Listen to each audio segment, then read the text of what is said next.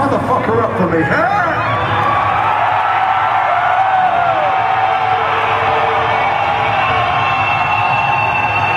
God damn it, it feels good to be back in one of the craziest fucking towns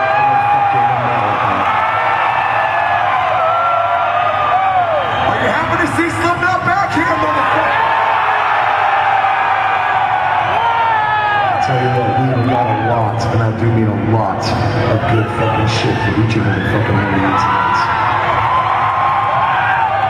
But I need to know, right now, is El Paso ready to get it the fuck on tonight? This I say, is El Paso ready to get it the fuck on with Slipknot tonight? Let's see what the fuck you got on this, Mr. Seven.